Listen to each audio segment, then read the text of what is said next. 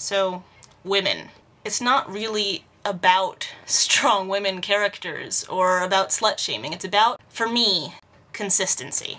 Angie talked about whether or not people have a problem with Reinette, for example, because she was a courtesan and because she got to make out with Ten. My problem with Girl in the Fireplace is not with Reinette. I actually think that Reinette is a really powerful, dynamic, and interesting character, played brilliantly by Sophia Myles, and that has nothing to do with the fact that I have a massive girl crush on Sophia Myles. My problem with Girl in the Fireplace is what Ten does, because he acts very out of character for him. And so does Rose. Um, Rose nags the doctor and he says you sound just like your mother and we're supposed to laugh there, but it's hard to laugh there because it's just not true and it's not where they're supposed to be in their relationship. And it just, it's baffling. He abandons Rose and Mickey to jump through a mirror to save Reinette, and that's not consistent with Russell's Doctor Who, and it is consistent with how Steven Moffat writes the Doctor. And I'll get to that later, but my problem with Reinette doesn't exist. And the same is true of Amy. I don't care that she wears short skirts. I don't care that she's a kissogram. I, I don't mind that she's flirty. It's a problem with consistency. And also with infidelity. But this, I feel like this video is going to jump all over the place. You're gonna have to bear with me. I just have a lot of feelings. I don't like inconsistency and I don't like infidelity, and those things come up all the time, kind of, with Steven Moffat's Doctor Who. Amy runs away with the doctor on her the night before her wedding and in her shoes you'd do it too. She has massive issues with trust and with abandonment and with love in general and I understand that, but with Russell's Doctor Who, you always knew what you were supposed to think. He told you what you were supposed to think. You didn't have to believe him and you didn't have to like it, but you knew. You knew what you could and could not do with time, and you knew what you could and could not do with characters. When a character did something bad, you knew it was bad. It was portrayed as a bad thing. When a character did something good, you knew it was good and it was portrayed as a good thing. That sort of um, meta isn't really available to us in Moffat's Doctor Who. So when Amy makes out with Eleven at the end of the Angel two-parter, it's a testament to Karen's acting ability and to my belief in her character's brokenness that that doesn't offend me and squick me out as someone who does not ship them together because she's engaged to someone else, first of all, and you're not sure if you're supposed to laugh at how hilarious it is, or if you're supposed to cry at how upsetting it is that Amy thinks she has to go there, or if you're supposed to ship it. I don't. Eleven treats her, the doctor, treats her as if she were a, a, daughter. With Eleven you see a lot of, of, of, forehead kissing and a lot of hugging and a lot of don't go there young lady. He's very much a dad and I don't want to see someone make out with their dad. That's not cool with me. And, and another great instance of whether or not you don't know how you're supposed to feel is River Song, and she makes a Dalek beg for mercy. I thought that was a really powerful, really amazing moment in Doctor Who because it made me scared. River Song is the kind of person who, he, you know, the Dalek was like, well, you're a companion to the Doctor. You'll you'll show me mercy. They always do. And she said, look again. And then she makes it beg for She makes a Dalek beg. And that's, to me, terrifying. Yes, it makes her awesome and badass and a head bitch in charge. And I think that's really great. I love River's character. But I love her because I find her intimidating and I find her a little bit mysterious, and a little bit scary. I don't trust her and I don't know if I'm supposed to. I'm not sure if he's he wants me to cheer and think that that's awesome and, and just disregard the fact that that's not really a thing that's okay.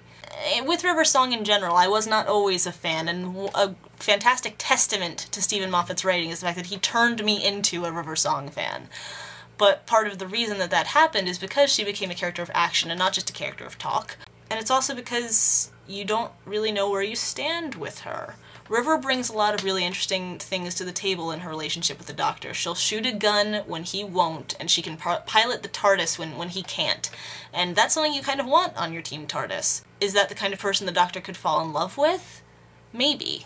I'm getting to a place where I will be open to that. and I'm curious to see where it goes, but I still can't get away from the fact that this is something that Steven Moffat is writing. Here's another quotation from Mr. Moffat. This is from Doctor Who Magazine number 385. They're talking about Girl in the Fireplace. Uh, given that this episode was The Doctor in Love, were you worried, Steven, that you might be undermined by the Dr. Rose love story? And Moffat responds, in the first series, there's really very little Doctor and Rose in love. The first real display of it is the why do you assume I don't dance bit in The Doctor Dances. It's really the only towards the end of that series that Rose stops popping out of the TARDIS looking for the first available male. Until then, she regards herself as absolutely available. And the Doctor and Rose are not in a relationship. They're not doing the one thing that distinguishes a relationship from a close friendship. There's nothing wrong with him having an infatuation with someone else.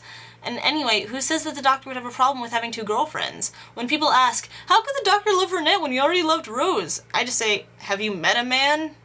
No problem. Ugh. Mr. Moffat, we do not agree. The fact that sex would be the only thing that distinguishes a relationship from a close friendship, I do not agree.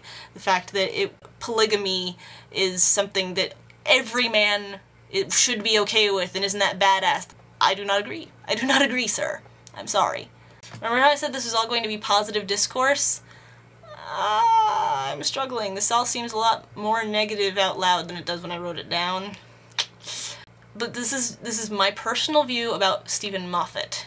And ultimately, Moffat and Rusty write the Doctor very differently. And uh, as someone who craves and searches for consistency, I have a big issue with that. Steven's doctor is very impulsive. He's the kind of person who would jump through a mirror on a horse in order to save someone he just met and leave behind the people who's he, who he's been traveling with for years. That's very consistent with how Eleven acts in Series 5 and how he acts in the Christmas special, but that's not really consistent with how Russell wrote him, and that bugged me. Russell's Doctor, uh, 10 and 9, were very deliberate. Should I be allowed to do this? Is this okay? Can I kill the Daleks if it means I'm going to wipe out half of the world?